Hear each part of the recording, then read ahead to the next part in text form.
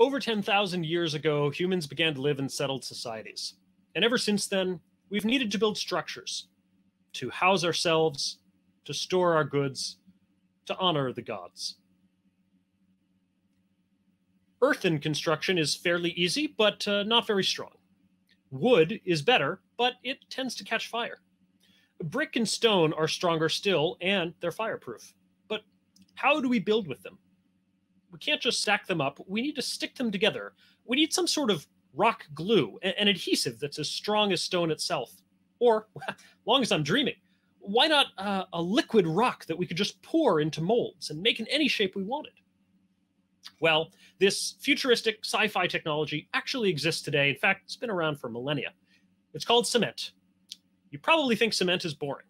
I am here to convince you that it is pure magic. How does it work? Well, uh, oh, it is uh, actually one of the uh, oldest crafts. Cement is older than uh, pottery, older than metalworking, uh, probably even older than agriculture. Cement floors were found at this agricultural site in Turkey, Göbekli Tepe, uh, from 9600 BC. Cement begins with limestone, a sedimentary rock formed from crushed seashells. So the main ingredient in limestone is calcium carbonate. When you burn it, it uh, gives off CO2 and leaves behind carbon, uh, calcium oxide. Calcium oxide is a caustic powder. If you touch it, it will burn you.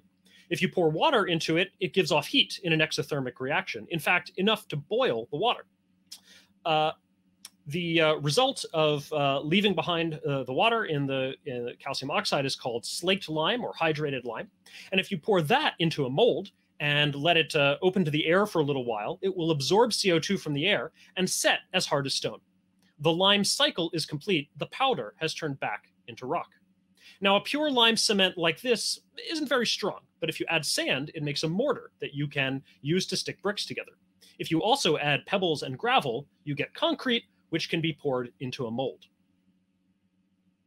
But we can make an even better cement. The ancient Romans discovered that if you add volcanic ash to the lime, you get a cement that will set even underwater, very useful for making harbors.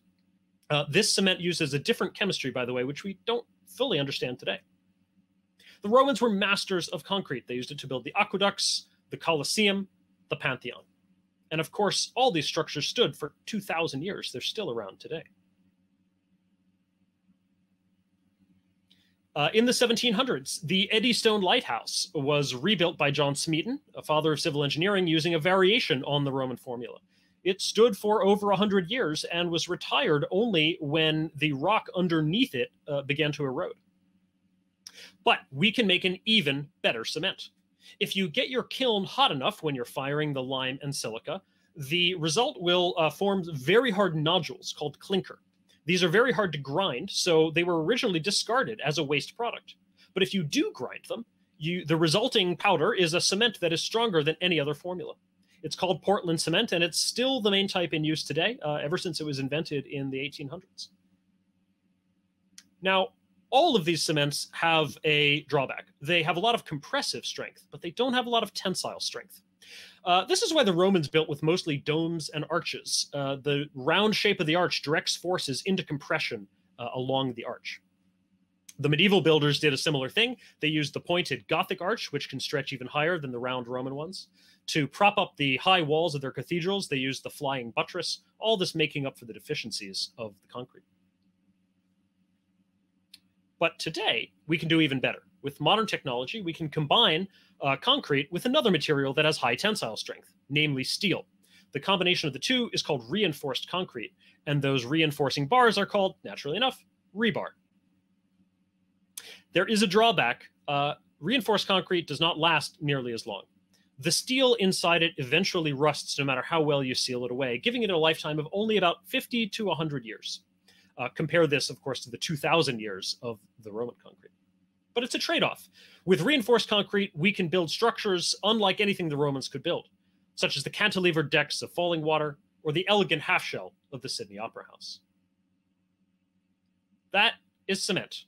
We crush and burn rock, extract its powdered essence, and then reconstitute it later in any shape we choose. Like coffee or instant pancake mix, it is instant stone. Just add water. Thanks, everybody. I'm Jason Crawford.